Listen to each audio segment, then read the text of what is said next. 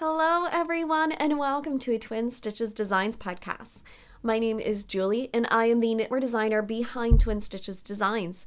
Today we are Wednesday. Uh, I think it's like June 16th. I think so. And it is just about 12 o'clock. My husband went on lunch and he's taking care of the girls. And um, I am here with you guys podcasting. I hope that you are well wherever you are in the world. And I am just so happy, as always, to be coming back to you guys. It's been just about two weeks since the last podcast, and I have, as always, so much to share. Um, things have been going really good, but they've been very busy. I've been doing a lot of knitting tutorials, so definitely check out the YouTube channel um, for all new tutorials being uploaded. Um, I'm just having so much fun doing all of those for you. I am just knitting at the same time we're chatting today because I'm trying to get some progress done on my sweater that I'm going to share all the details with you later, but I'm trying to sneak in rows here and there whenever I can. You can find me on Instagram and Ravelry as Julianne Knitter, and I will link everything I talk about down below this video. And if you have any questions, please list them down below, and I will try to answer them as soon as I possibly can. Wow, you guys. It has been, like I mentioned, two weeks since the last podcast. Um, I have a finished object, I have a pattern released coming out tomorrow, um, which is going to be Thursday, June 17th. Like, we have a packed full episode. So grab your beverage of choice, grab your knitting, crocheting, makes, whatever you're doing, and let's dive right in. First up, we're going to go through finished objects. I finished, uh, it wasn't even cast on on the last podcast, but I finished my worsted weight socks out of We Are Knitters. Um, and the second one's just right here. I had uh, knit about one and a half for our one week sock KAL. This was a challenge that I did over on Instagram, and I was able to knit the full pair of the um, the men's for my husband, but I sadly did not finish two full pairs of socks. So I decided, oh, there's a little fluff on here. Uh, I knit these for myself. This is out of We Are Knitters in their Murray Fine yarn, which is absolutely beautiful. Really love it. And this is 100% merino wool, 123 yards per 50 grams. So for my size, I used two balls. For my husband, I also used two balls. Um, but depending on your husband's size of feet and the long leg, I potentially would grab three. I barely had any left. Like it was really, really minimum. I want to say like maybe five grams each ball, like maybe 10 grams left out of the 100. So definitely, um, if you don't want to cut it close, grab three balls of that and you'll get a really nice pair of socks. So this pattern is going to be released tomorrow and I'm calling this my perfect worsted weight socks. It is a plain vanilla sock, but you will have the recipe for four adult sizes, uh, and it will be on say um, going on for five dollars Canadian. Just because there's no pattern, I didn't want to put like that extra two dollars that I usually do, but you will have five different. Uh, sorry, um, so yes, you will have four different adult sizes. It is all with a heel flap and gusset, um, and then just a fun toe. It is all magic loop cuff down. So this is going to be available tomorrow, Thursday, uh, June 17th, up in my Ravelry shop and potentially Lovecraft if I can get it up in time. So I knit a sample out of the gray for my husband, and this one is in the colorway Bordeaux, um, both out of the Merifine. Now, I do know that Merifine is 100% wool. I'm not sure if I had mentioned it on the last podcast. Um, 100% wool socks does not contain any nylon. These are meant to be some house socks. So when we go cuddle up on the couch, or if it's really cold outside, I live in East Coast Canada, New Brunswick, it gets really cold during the winters. So I think that these will be perfect when I we are cold and you just want to snuggle up um, after going to play outside in the snow. This is not something that's going to be in boots or um, going around too much. They will be in our slippers, so I am not scared of that. Also, with 100% wool, it is okay to knit some socks. You don't desperately need nylon. You want to look at the twist of the yarn. Put this aside. So depending on the twist of the yarn, if it's very spun, um, you can see it here, how high twist it is.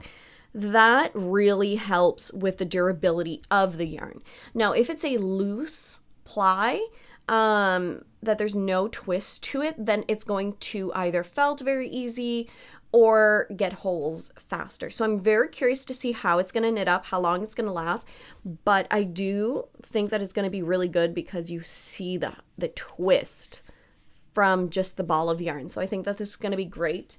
Um, and they're not baggy socks, they're very nice fitting.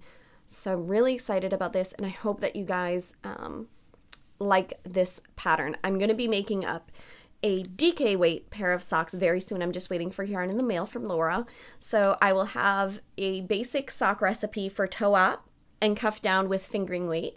I will have a basic worsted weight sock pattern, and then I'm going to have a basic DK weight sock pattern. So depending on, and these are tech edited and they're very good patterns. So just for $5, you get the full recipe and I'm just very, very, very excited to be offering these um, in my shop. I think that this is something fun and it's great. So, depending on the yarn that you have, because not everybody wants to knit fingering weight socks. So, I think that this is a great alternative. Um, and then the DK weight will be coming out um, soon ish whenever I get the yarn and knit those out. So, yes. Uh, the sock blockers, I always have questions. They I purchased them on Etsy a few years ago, and sadly, they do not sell them anymore. Um, you do not need sock blockers to knit some socks. They are just kind of you know they they frame the sock so that they look really nice, but um, so they look like that. I haven't wet blocked these yet. I literally just put them on the sock blocker, and they automatically took the shape.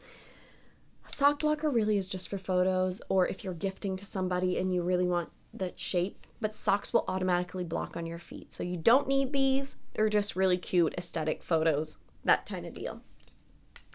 And I was um, having them in my little cedar box from Knit Picks, which, by the way, Knit Picks is having their summer sale going on right now. And uh, these little cedar boxes are 10% off. So I just had these in here. Um, absolutely love it. So this little cedar box is amazing. They have a small, medium, and large. I'll put my affiliate link down below if you guys want to grab it, but they're 10% off. I love these for socks, and I love the large one for sweaters. They're just amazing, and I'm actually going to show off um, another finished object in a minute. So yes, I just have these in there, and then I am hoping to fill this little box with all worsted to DK weight socks. Really comfy, cozy socks for the fall. All right, so that is it for that one.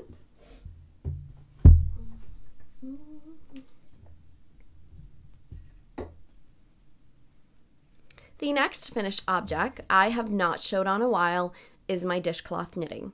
Now, I have been doing some dishcloth knitting again with the cedar boxes, and I am hosting a year long knit along called Dishy Dimanche. I've not mentioned it because I've not been knitting on them too much, but it is a fun year long knit along both over on Instagram and Ravelry group.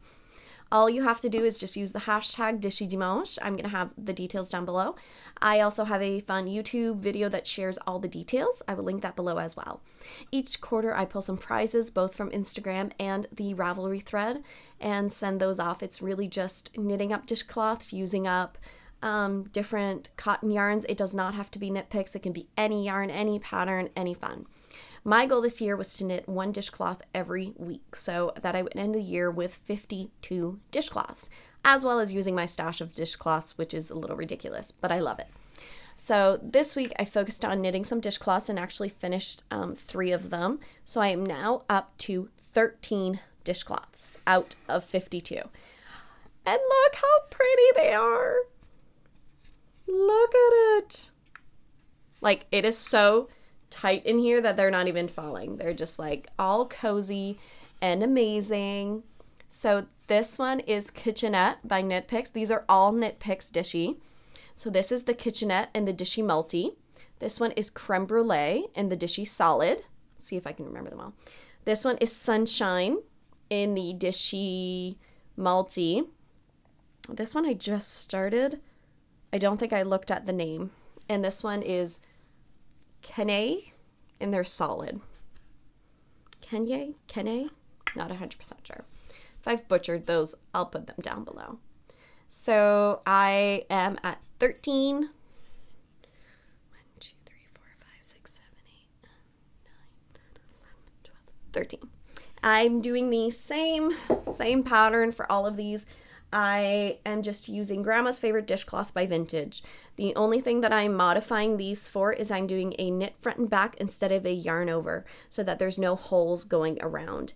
I am using a US 8 for all of my dishcloths and either doing up to 42 or, uh, 42 or 44 stitches. Now, if ever your dishcloths are look like wonky after you're done, just stretch them out a little bit, kind of straighten them out. They're never really perfect.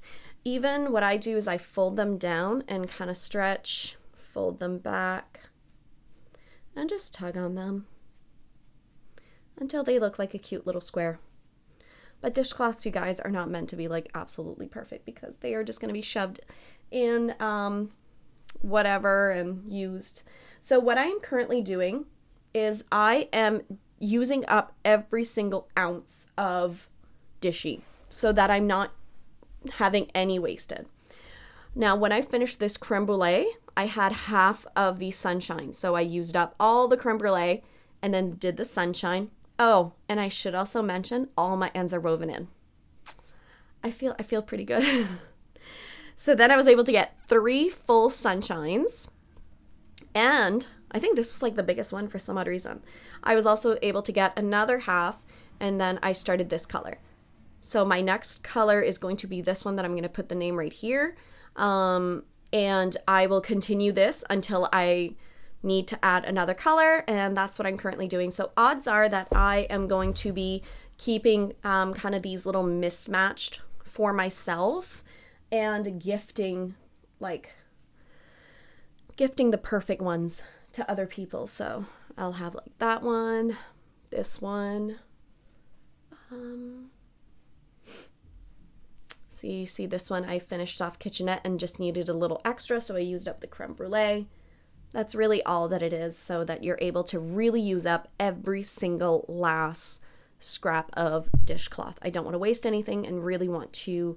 I don't mind. I don't mind that my dishcloths aren't going to match and there's a little color. Doesn't matter to me. It really doesn't. And I know that for some recipients that I'm going to be giving these to, it won't matter to them either. I know that my mom absolutely loves this yellow. I was knitting on some dishcloths when I went to go see her, and she's like, I want that yellow. And I'm like, okay, my mom will happily, happily take some dishcloths, and I know that she won't mind if they're, um, if there's some that aren't absolutely perfect. So I'll be giving, I'll be giving some to her and other people. So my Christmas knitting is going to be done very early. But yes, I wanted to share all that with you. So this is my update on my dishcloth knitting, and right now they're just in here. Um, I'm gonna grab some more cedar boxes and put them just because I think they're so pretty. And for now, I'm gonna continue on with the same pattern. It's intuitive. It is mindless for me. I just cast on. I know exactly, and I love it. I haven't cast on another. Sorry if you can hear my kids. They're playing outside. Um, I just finished this one last night, and I'm taking a little break to work on the sweat on my husband's sweater and then I will get back to this um, this week. I always want to have some on the needles. I also love um, walking on the treadmill and knitting at the same time. Yes, I managed to do it. It takes a lot of practice, but I've managed it. So I always have uh, my dishcloth knitting on my treadmill. So if I'm walking for 20, 25 minutes, whatever it is, it at least helps um, get those dishcloths done because I need to catch up. I think we're at week like 24 of the year and I have 13 done. So I'm behind, but if I do like two every week, I should be good for a while. I actually just went to go grab it. This is the yarn that I am doing up next, and it's called Dandelion Patch in their multi. Really beautiful. Um, I think I'm going to be going into the greens after. I love doing like one full color family. I still have some yellow, but I think I need to switch it up Um, so then I'm going to go in the greens and then probably go from greens to blues. So then if I want to do like some gifts that I at least have like full color families and I'm not just like bouncing around different colors because from the yellows, I could do like two to three different colors of the yellow for one person and have a lot of dishcloths.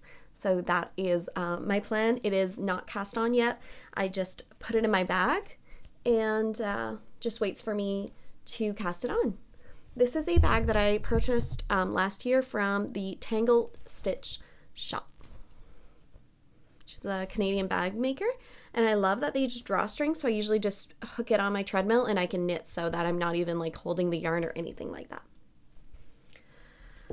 Okay, um, that is it for the finished objects. Now we're going to go into some WIPs. Now, the only thing that I had cast on from the last time is the sweater that I'm test knitting for Vincent of Design by Delz. Now, I mentioned to you guys that I wanted to split for the sleeves the last time that I recorded, and I did, and I'm a little bit even further. So, I I love it, but it's ginormous. Um, it is so beautiful. I'm knitting this out of Knit Pick Stroll Tweed, and uh, the top one is North Sea Heather. The white one is Dalmatian, and I'm currently doing up Prussian Heather. I've split for the sleeves, and now I'm starting the little marling effect. So this is what I was knitting on a few seconds ago. You marl the main the first color with the second color do the second color then marl the third the second with the third and then i'm going to continue on with um, the darker blue so my goal today i think i have one two three i have six five to six more rows of marling before I can do just the color. So today my goal is to get the marling done so that I can just go on to the uh, to the last color. Um, and every day I'm planning on picking this up, doing a few rows so that it's not as daunting. Um, I don't want to just work on this for a few days. So that's kind of what I'm trying to do is in the mornings pick this up for half hour, hour, whatever it is, get at least a few rows in every single day and it'll just gradually grow and I don't feel like, oh my gosh, this is taking forever. So that I at least have to knit a row a day. I think he is going to live in this. I've knit a sweater out of Knit Pick Stroll Tweed a few years ago and it holds up and knits up beautifully.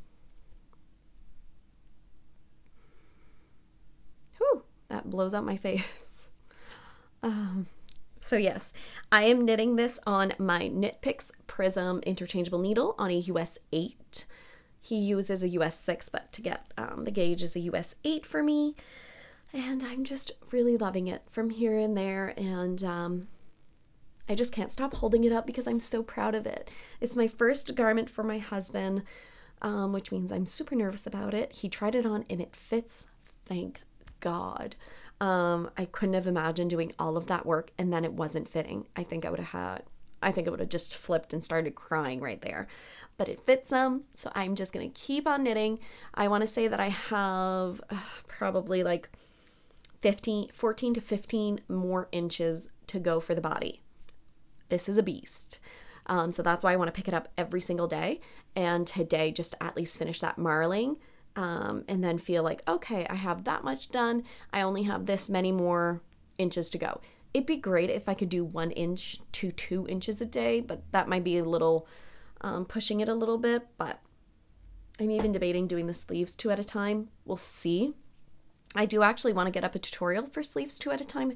No, that was requested, but I might actually do that one with the next sweater that I have on my needles.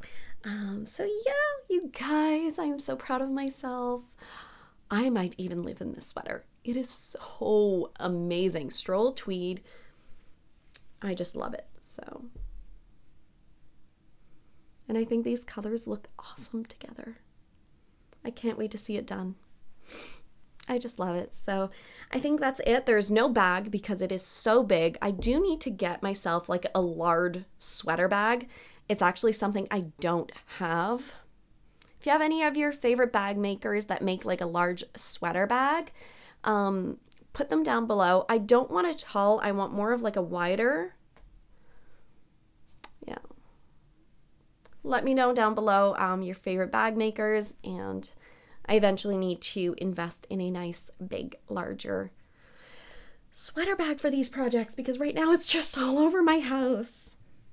Okay, next up on WIPs, I teased about a new sweater cast on, and I did. So I had done a full haul video on Hobbii's yarn, and I had absolutely loved this combination. The girls love yellow, and I've been wanting to knit them more sweaters.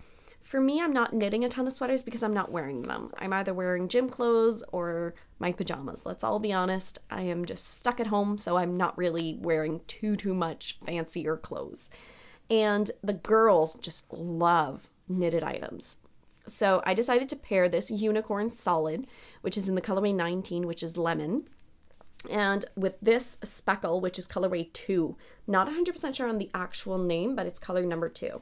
Now, they have a huge sale on their solids right now. Their speckles are sold out, but they are going to be hopefully getting them by the end of June. So if you are interested, definitely keep an eye out for that. I really wanted yellow to be the focus because the girls are obsessed with yellow. So I decided just to kind of cast on a little sweater, making this up as I go. no joke, in one night, I had cast on, done the ribbing, and almost at the sleeve separation in one night. I mean, these sweaters go by so fast. It looks tiny. I, they've tried them on. It like it stretches. Um, they tried it on and it fits perfectly. So I just just added um, the pink.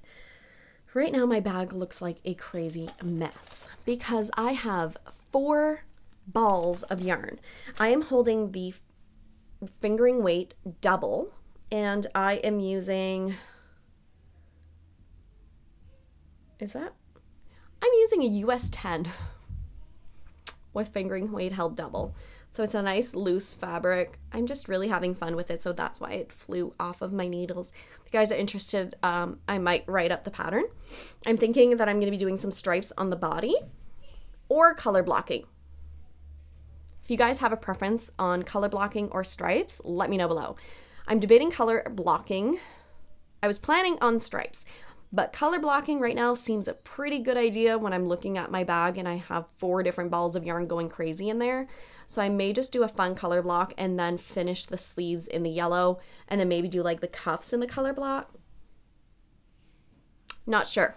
We'll see we'll see what. Sorry, I was interrupted by some little ones, but yes, definitely let me know down below what you guys think I should do. Um, I'm really gearing towards the color block, where I think I'm going to do this one for the body, and then I will do everything here for the sleeves. And then if I don't have enough, then I'll finish like the cuffs in this. And also let me know if you guys would be interested in a little pattern. So I'm really excited about that. My next project is in a project bag by Daisy Girl Company, who is Sherry. I absolutely love her peekaboo bags. They're a lot of fun and just super cute that you see your project. And this is a brand new cast on that you guys have not seen. I have been dying to cast on Nicole's yarn. Nicole is from Nicole C. Mendez. She is a um, German dyer who creates the most beautiful self striping yarn. And she is such a sweet friend of mine. She sent me this yarn. Oh, it took me everything when it arrived not to cast it on right away, but I knew I needed the perfect moment. So this is in her Daphne colorway on her soft sock, which is a 80-20 blend, 437 yards. Love her tag. And here is the yarn. Love the purples and blues and creams and gray. And it knits even up. Like, if possible, it's even more beautiful knit up. I I couldn't stop knitting this when I cast it on. So this was supposed to be my sock that I would time myself to see how long it was going to take me to knit up a pair of socks because I never timed myself and I was super curious to see. But the problem was my shoulder let go and I had to go to physio, so I was knitting way slower than I usually do. So I originally cast on and started, but I was noticing there was I had a lot of pain in my shoulders. So I'm going to finish this sock and then when I cast on the second sock, then I will time myself um, to see how the second one and Nicole's knitting along with me and we're chatting and it's a, just a lot of fun. So um, these are stitch markers that do up every 10 rounds. A lot of people do this for their socks and don't count inches. So I was curious and thought, well, why not? So I did 55 rounds Um, I did 10 rounds of 2x2 ribbing, cast on 56 stitches on a 2.5 millimeter needle. These are Knit Picks, uh, nickel plated. And then I just use a fun scrap that I had for the heel and I did it in garter. So all that means is instead of knit and purl, you just knit every row and it creates a fun um, garter squishy squishy thing. So this has been put in a tiny timeout while I focused on some dishcloth knitting as well as the sweater, but I cannot wait to get back to this. Nicole completely beat me and she already finished one sock.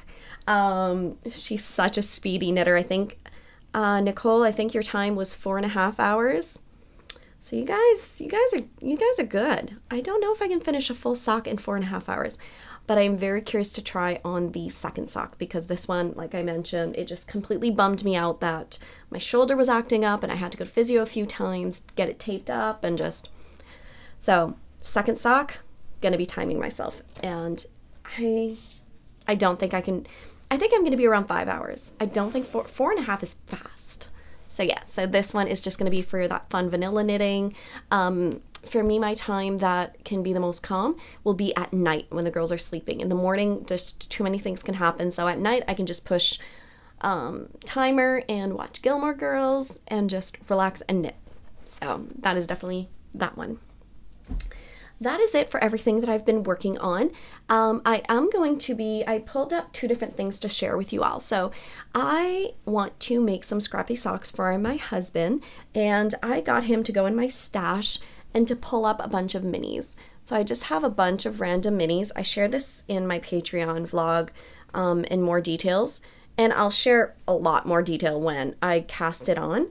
But he just, I told him just pick like 10 or 12 minis um, that you like, and I will knit up a pair of scrappy socks. I'm just super excited to get it cast on. I don't know the names of these yarns. I just know that 90% of them are from Jill um, we did an Evans swap two years in a row, so a lot of them were from her. So I have these all in my um, creative knitter bag, who's Stephanie, and just waiting for me to start winding them up here and there. So once I get a few things off of my needles, this is going to be um, my next project that I'm really excited about. I'm also thinking of writing up the full recipe and then um, kind of having a pattern for that. And uh, yeah, so I am just so super excited. The next one that I'm wanting to cast on that I have not yet is um, an acquisition from the. No, it was not from the last time. No, I've had this one for a while. Um, I've been wanting to net up some of my homespun house yarn. So this is Molly's yarn. And this is on her soft sock. It's Friday I'm in Love, which is a 7525 superwash merino nylon blend, 470 yards per 100 grams. And I caked it up.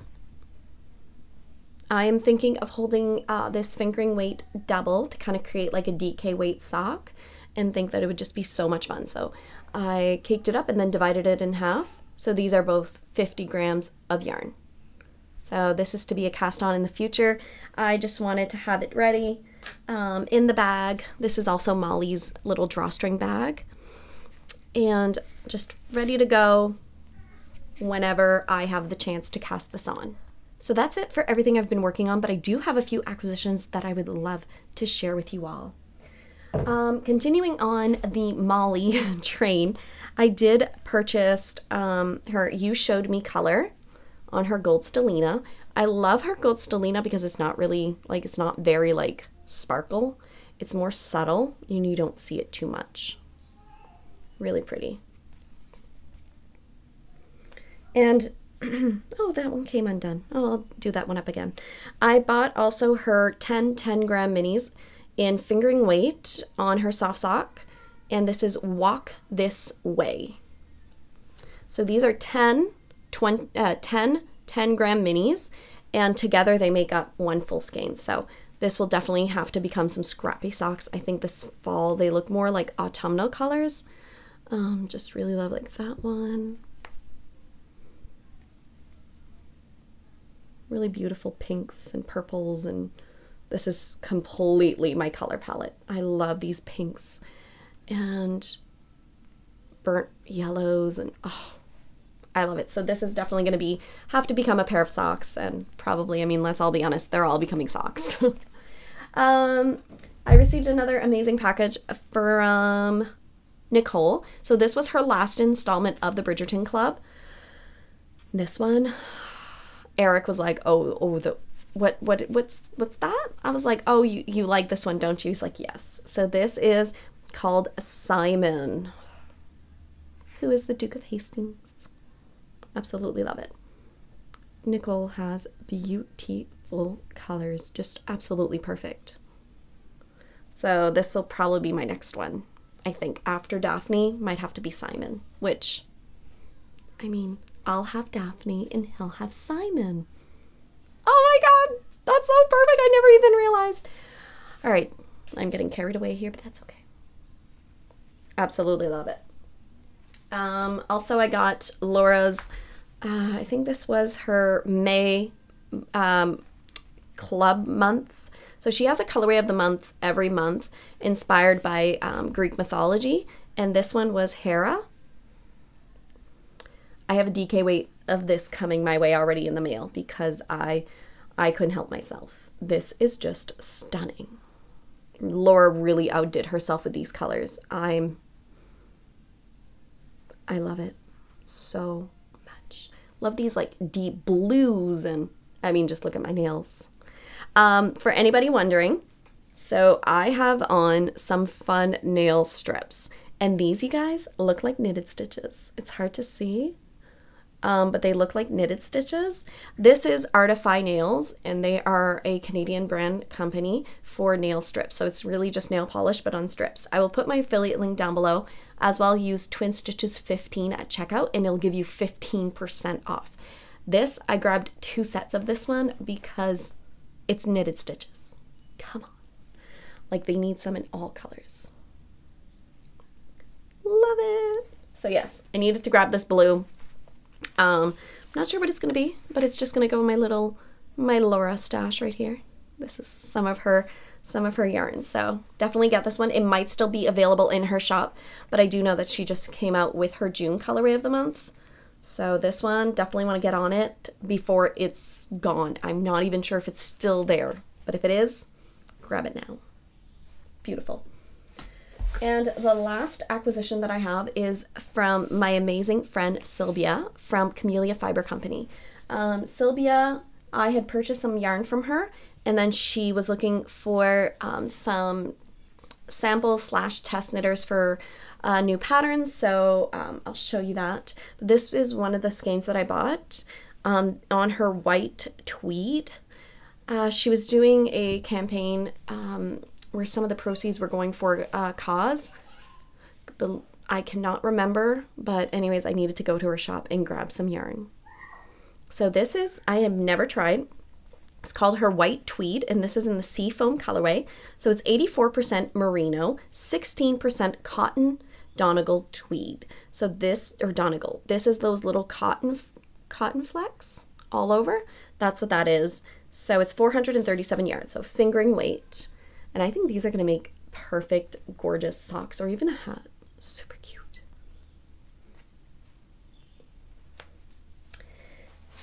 And then she sent um, some of her Merino Sport for the test knit. So I'm going to be using her Moonflower, which is a beautiful white.